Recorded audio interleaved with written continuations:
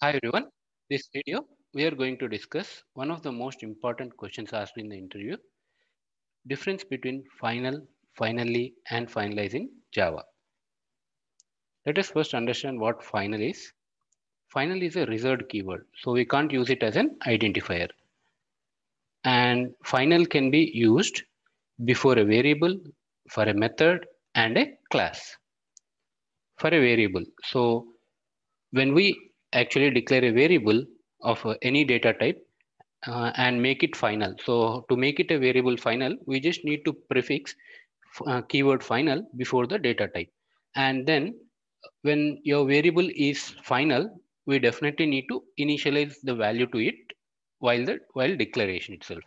And it can't be modified. So as your variable is final, is declared final, the variable can't, the value of the variable can't be modified.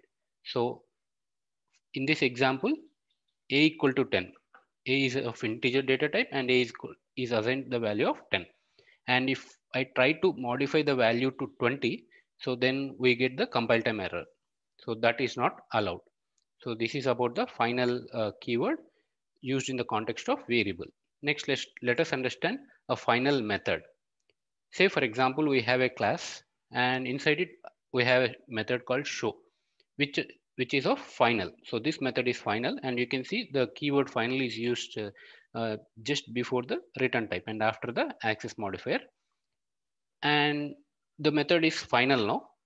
And we have a class, child class, which extends the parent class. So here we can't override the final method. So the show show method in parent class is final. So trying to override that show method is not allowed. It throws compile time error.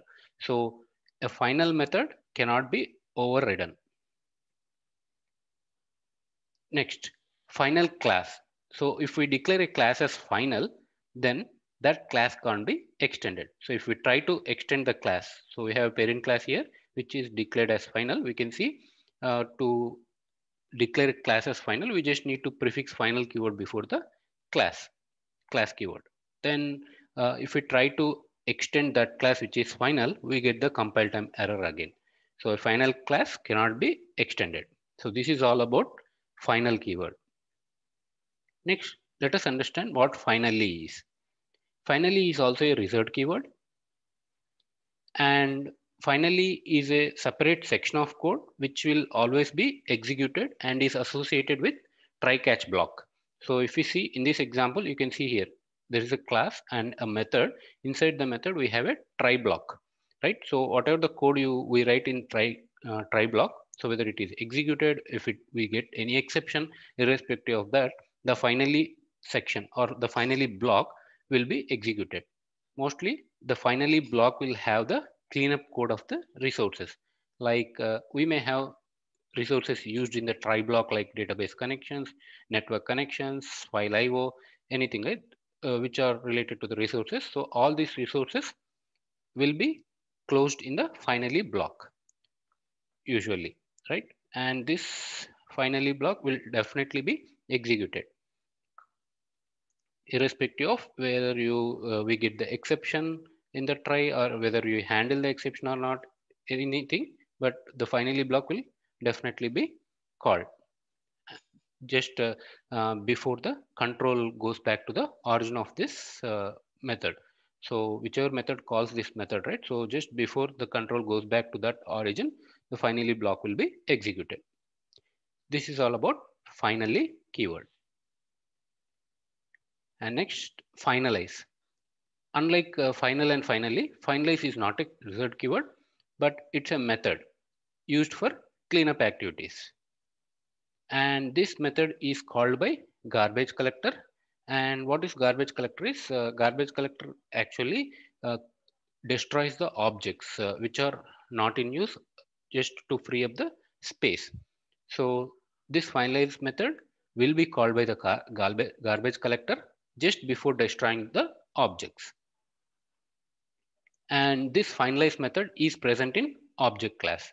And we know every class in java implicitly extends the object class. So we can see here, see uh, the object class, right? So this finalize method is in object class And the syntax of it is protected is the access modifier, void is the return type, finalize, throws, throwable. This is the signature of the finalize method which is present in the object class.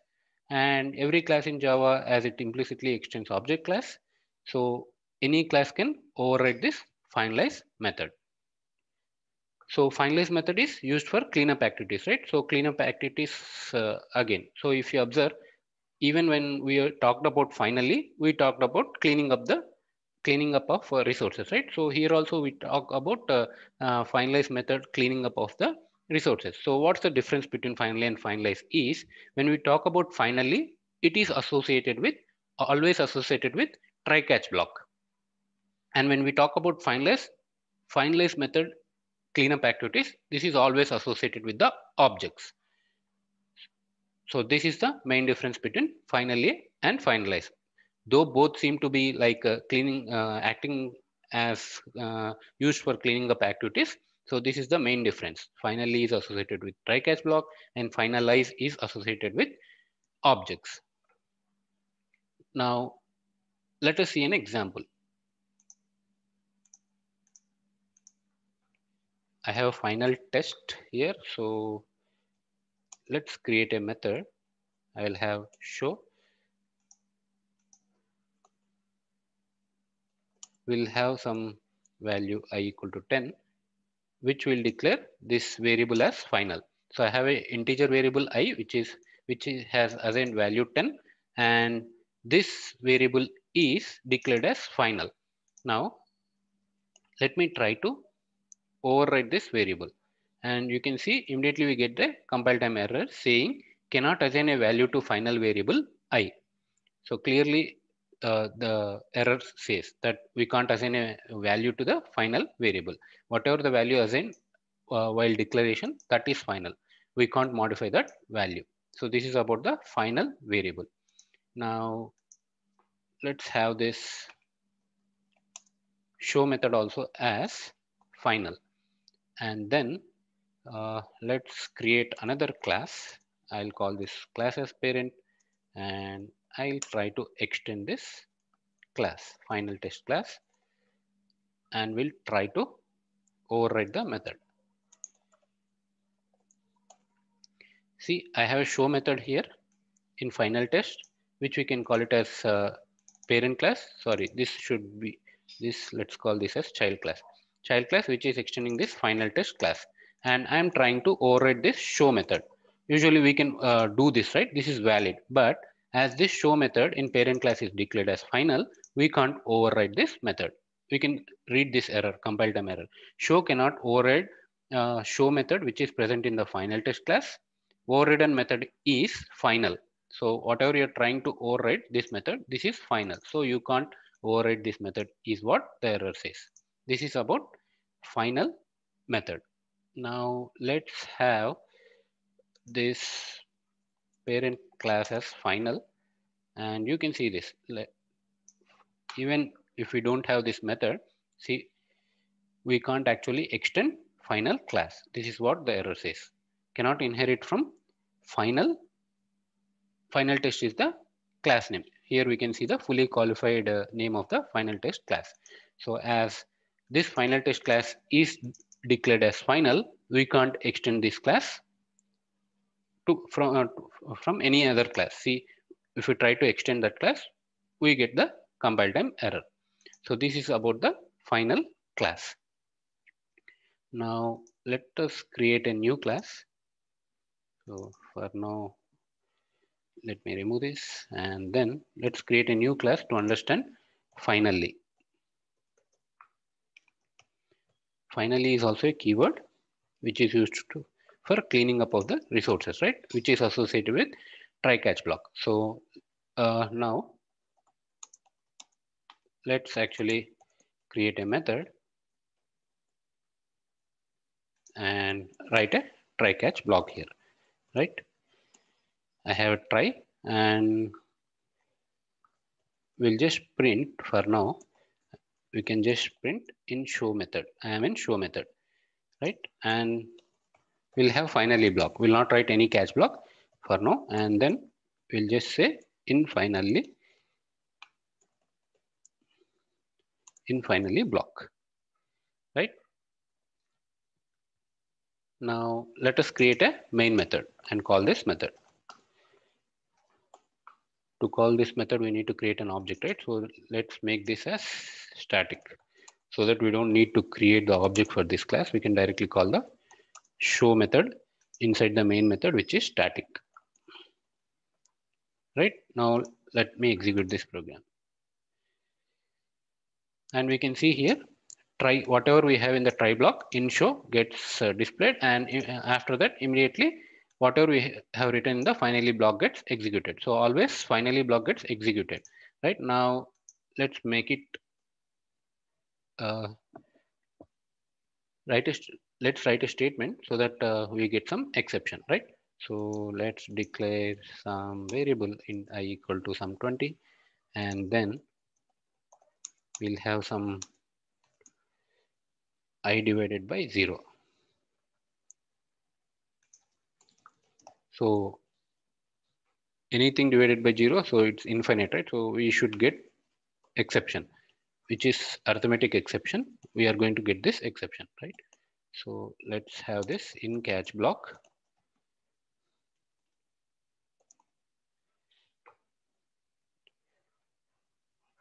Now when we exit when we execute this program, so this has to be displayed and then uh, then this statement should actually throw an exception. This exception should be caught by this should be uh, caught by this catch block and finally also should be executed. Let's see that now. So you can clearly see in show method, fine. And then when we try to execute this method, we get the arithmetic exception. And we can also see the exception if you want. So we can just print the stack trace as well. Let me execute it again. So you can see here in show in catch block and we also get the exception and even though we get the exception the finally block got executed so this is what we need to see here, notice, right? And then now let's divide this by some 10 and then I'll return this code. I just wanted to return here after this. So return is returning from the method, right? So let's execute this method again. See in show, this is valid. Some value will be as in 20 divided by 10 maybe d will be 2 here. And then we are trying to forcefully return from the method. But still before this method is uh, exited so finally block got executed. That we can clearly see here right so this is the usage of final finally so whatever the resources you use within the try block so use the finally block to close all your resources so that even if uh, your program terminates abnormally uh, we can make sure that all the resources gets uh, closed and there will not be any uh, resource leak in your program. So this is all about finally. Now let's create another class finalize and understand what finalize method is.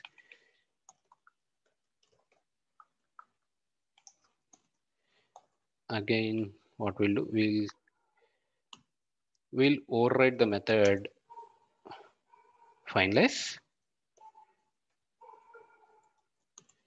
I'm overriding the finalize method here. This is overridden finalize method.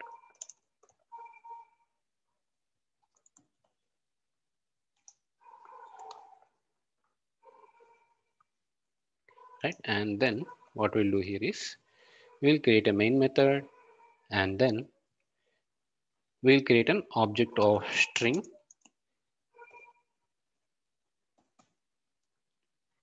I'll make this object as null and we'll clock and we'll call garbage gc method. So garbage collector method.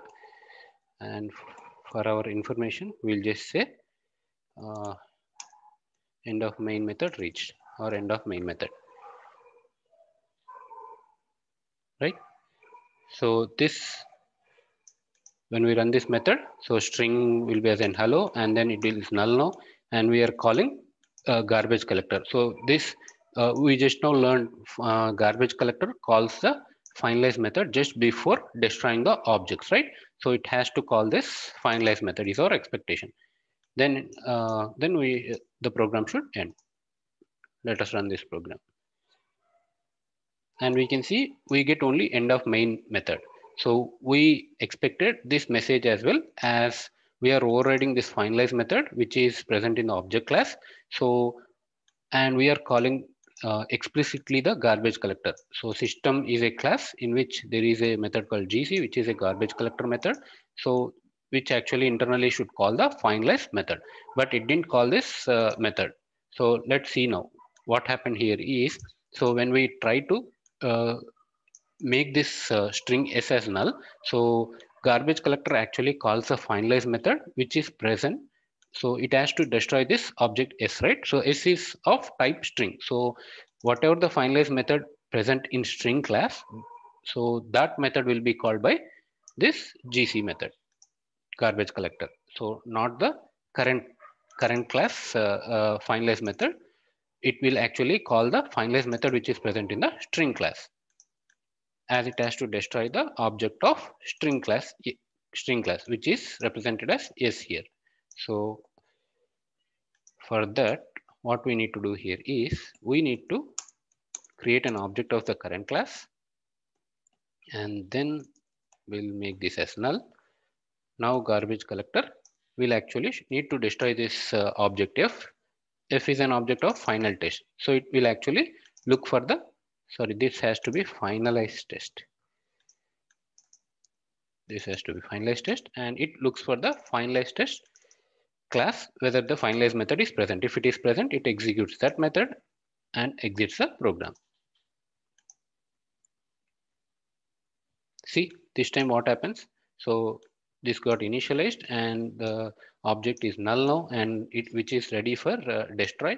And then garbage collection has started. So it actually called the finalize method and the program got terminated. So this is the usage of finalize method. So finalize method is always, uh, which is defined, finalize method is defined in the object class where it has empty implementation and it's up to the class.